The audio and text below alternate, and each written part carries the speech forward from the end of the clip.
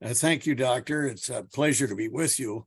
I appreciate David uh, uh, introducing us, and I welcome the opportunity to offer my thoughts on on these problems. I have um, I've been a lawyer for 54 years, and almost all of that has involved uh, policy and legal work in the healthcare field, uh, including early on in the early 70s, uh, an exposure to and some involvement in dealing with the corporate practice of medicine prohibition.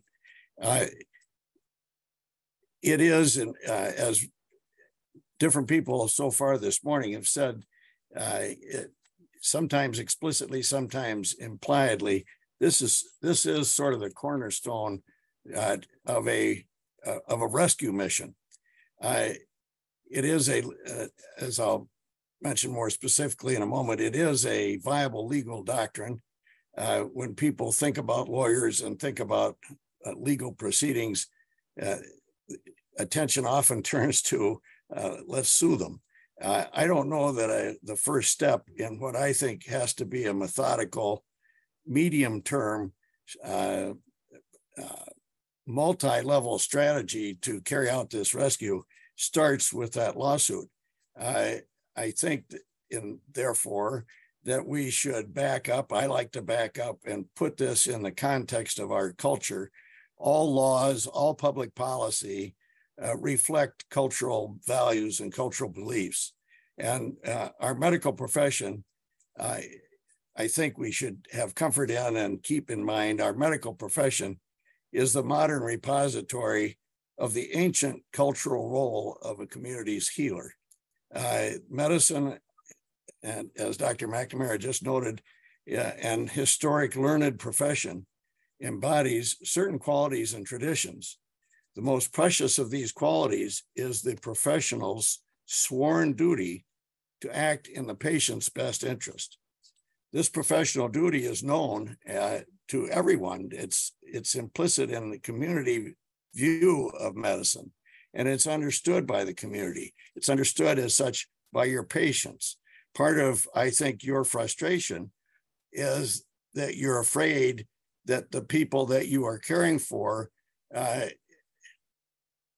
are being misled in in being they're allowed to continue with this belief they come to you with that belief and part of the frustration is there's things happening to interfere with your delivering on that promise, things that are presently out of your control, not because of a change of values in medicine.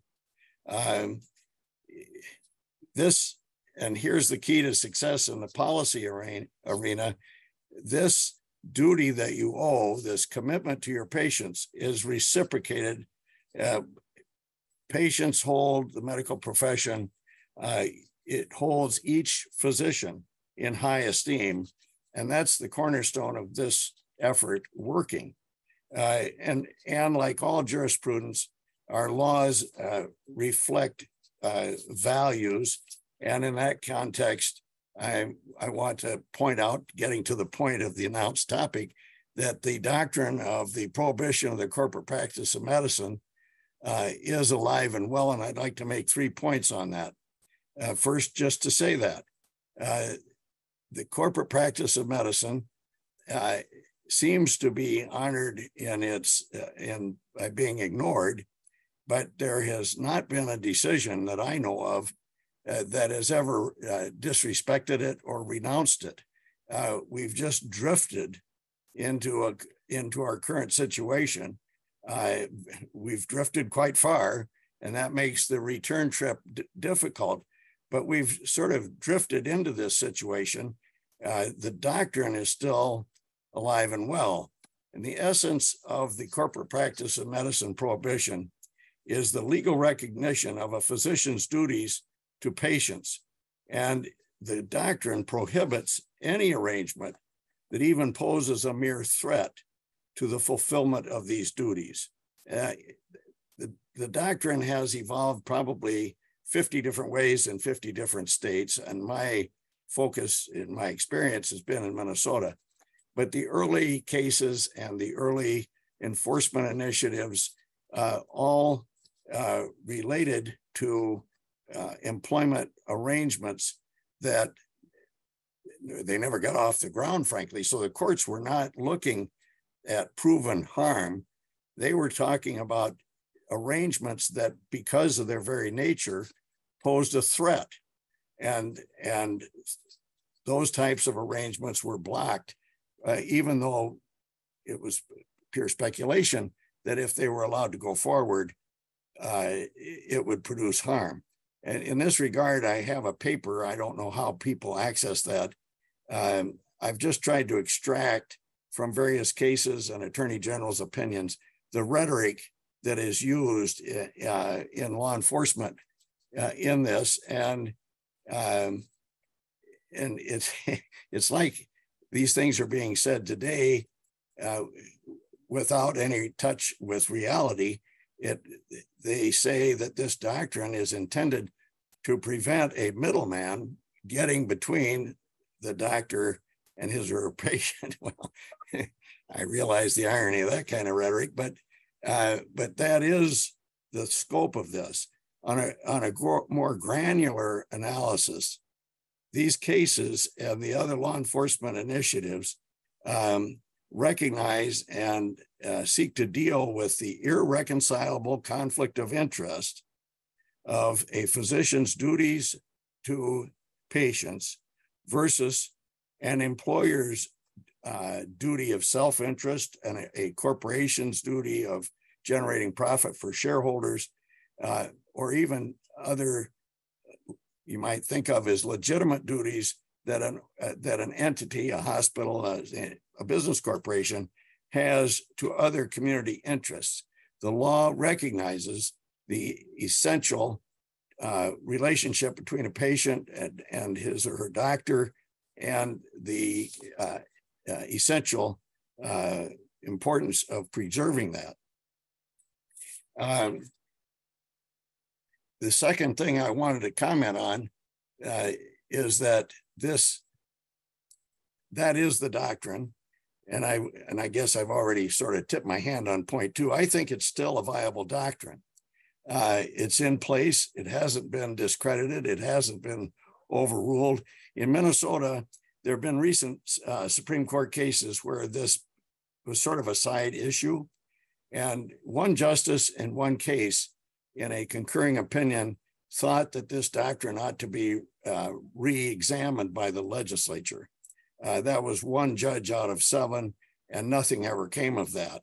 Uh, the courts acted in furtherance of the doctrine in those cases in recent years. Uh, so it's still alive and well.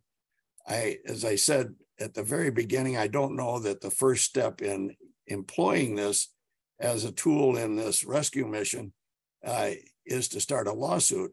But the uh, policy that is underlying this, this legal doctrine uh, and its widespread acceptance is, uh, I think, the beginning of a public policy change that will return our system to some uh, patient focused uh, policies. Um, in, in this regard, by the way, uh, I'm pretty sure this has never been taken up. I believe that Roe v. Wade uh, includes a uh, discussion, at any rate, maybe not a holding, that uh, that a doctor's relationship with his or her patient is constitutionally protected. Just a comment. Others probably laugh up their sleeves at that, but I and we don't know where Roe v. Wade is going to go. But but I believe that our jurisprudence uh, embraces the sacred duty of a doctor to a patient uh, more than current um, practices would ever suggest. And finally, uh, Dr. McNamara alluded to learned professions. Um, and uh, I think that uh, the importance of success in this mission uh, is critical to the entire profession. I think it's I think it's important to our American culture, to society. Um, in the last analysis, uh, the professionalism of medicine uh, is important to everyone. Uh, and it's, uh, and if that's lost, the medical care, patient care, the treatment of patients, the, re, the mitigation of injury and disease, everything we've put in place will crumble. This is not a lighthearted effort. Uh, it goes beyond uh, whether people can make enough money, uh, whether they're happy in their work. I, this, to me, is is the essence of our system. Uh, and as professionals, uh, while we're all distracted by day-to-day stuff like buying groceries and taking care of the kids and all the things that we worry about as human beings, but uh, but as professionals, uh, we we we are drawn to professions because of the essential qualities that we expect to experience, and they are uh, there are elements that are essential to that intangible reward. Uh, professionalism is based on mastery of the field, in this case, medicine, specialized areas in medicine. Uh, secondly, a sense of purpose. And third, uh, autonomy in doing what uh, you feel is best in fulfilling your uh, duties to others. Uh, to be a profession, to be a professional is to be other focused. It is to behave day in and day out above self interest. And uh, without professionalism, uh, our whole system will crumble. And this is not just a political statement. Uh, I don't know how widely embraced or well known it is, but uh, but the emerging, I think it's emerging, uh, understanding of behavioral psychology and behavioral economics uh, goes to the heart of this. It's proven in those social sciences that, allowing and fostering these elements of professionalism, mastery of the subject, um, uh, the development and execution of a sense of purpose and autonomy to behave as those and your conscience would dictate, those actually produce better results and a more efficient and more rewarding uh, uh, performance in an economic system. So this is not just uh, our feelings are hurt or somebody's getting in the way of us doing our job. This is actually interfering with the uh, performance, the proper performance, the effective performance of the profession. So I believe that this doctrine is alive and well. I believe it reflects societal values. And I think that it can be and must be an important part of the strategy to return to some semblance of priorities and normalcy. Thank you very much. I appreciate the chance to share my views.